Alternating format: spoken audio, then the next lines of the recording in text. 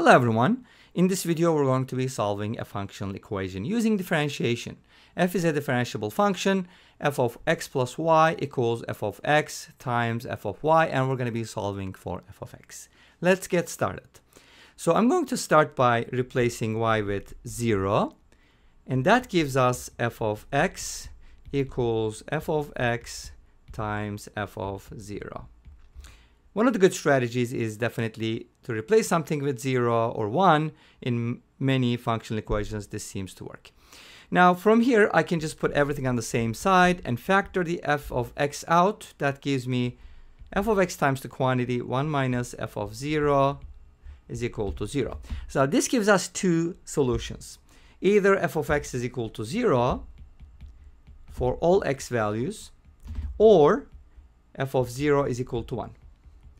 For the time being, we're just going to ignore the first one because that just tells us that if f of x is always 0, then this is going to work and you can clearly see that. Let's go ahead and focus on the second one where f of 0 equals 1. Now this is good to know because we're going to use this in our equations. All right, great. So let me rewrite the equation one more time. f of x plus y equals f of x times f of y. Okay. Now I'm going to replace y with h, so let's go ahead and do that. And you'll see in a little bit why I do that. Remember I told you earlier that I'll be using differentiation. So f of x plus h can be written as f of x times f of h. Now I'd like to subtract f of x from both sides. You probably see what I'm getting.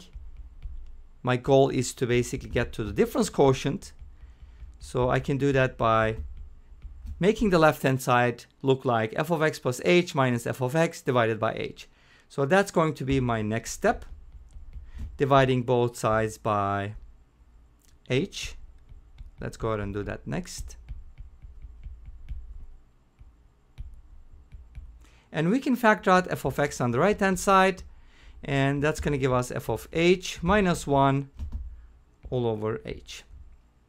Okay, now, what can I do with this? Since I have the difference quotient, I'd like to take the limit, and since f of x is differentiable, that means uh, this limit exists. And let's go ahead and take the limit on both sides and write this as a limit. So, limit as h approaches 0 of f of x minus, I mean f of x plus h minus f of x divided by h is equal to limit as h approaches 0 of now I can just separate the f of x from here and write the f of h minus 1 over h as another quotient. And we'll deal with that in the next step. But if you look at the left-hand side, this is one of the things you should definitely know. We do get the derivative of f of x in general. Great. So this is equivalent to f prime of x, which is the derivative. But what about the right-hand side? Well, since f of x does not depend on h, it's considered a constant we're taking limit as h approaches 0. So I can pull the f of x out by using the rules of limits.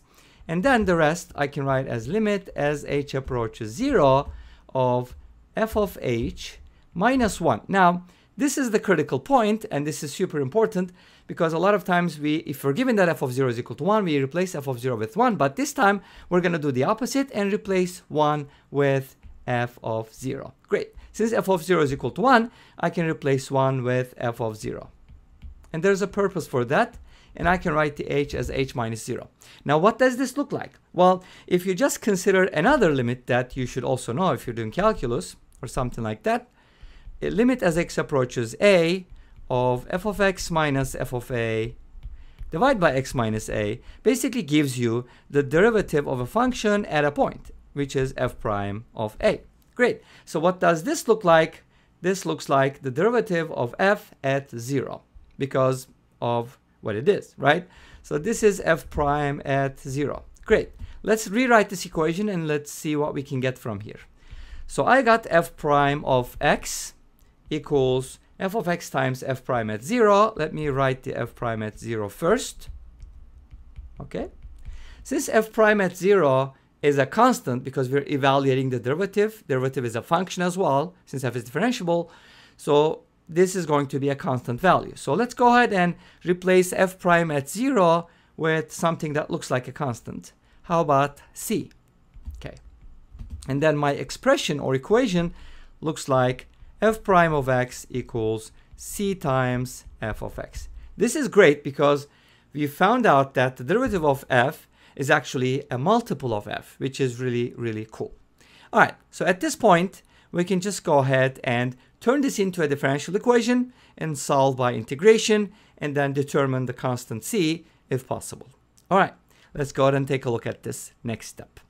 So I'm going to write the d f prime of x as df over dx and f just is just going to be f. Instead of writing f of x every time, I'm just going to write it as f. c is a constant, so I'd like to separate the variables here. So let's go ahead and put it like this: df over f equals c dx. c is a constant, so it doesn't matter where it is.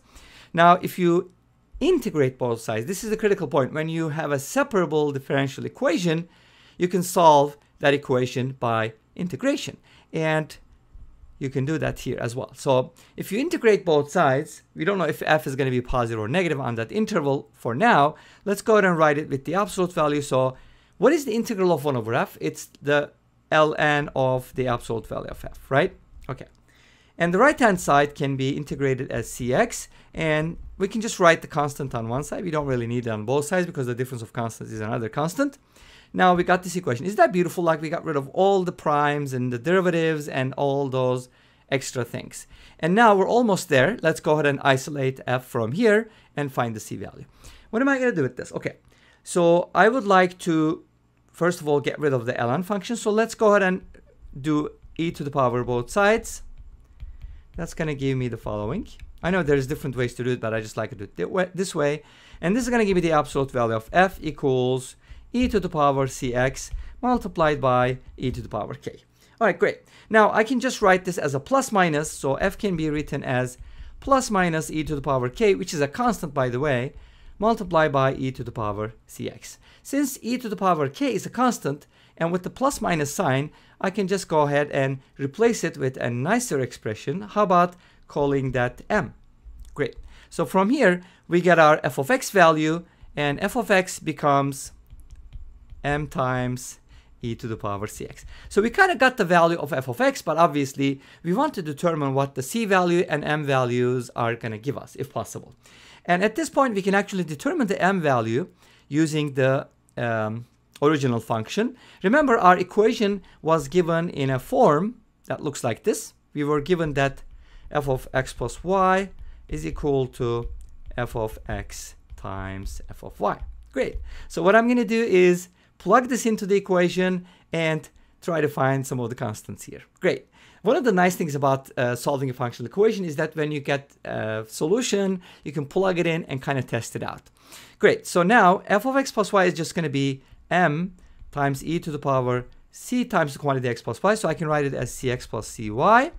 And on the right hand side, I have f of x, which is m e to the power cx and m e to the power cy. When you multiply these two expressions, you get the following. m times e to the power cx plus cy equals m squared. And when you multiply two powers with the same base, you add the exponents and you can just go ahead and add these exponents. Obviously, e to the power of something is never going to be zero. So what I can do is I can just cancel these out, right? Well, you can divide both sides by that. And this gives you a nice equation for m, which is m squared equals m. But this equation has two solutions m is either 0 or m is 1. Great. Now, if m is equal to 0, remember, we wrote f of x as m times e to the power c, cx. And if m is 0, then from here we get f of x equals 0 for all x values. And remember at the very beginning, if you go back, remember when we solved the uh, equation or we were trying to find the f of uh, x value or f of 0 from here, we said that either f of x equals 0 for all x or f of 0 equals 1, and we use the second one. If that's not the case, f of x is going to be 0, and that's what we get from here. That's one of the possible solutions. So if of x is always 0, f of x is always 0, then it's a solution. What happens if m equals 1? Great. That's a better solution, in my opinion. And from here, we get f of x equals 1 times e to the power cx.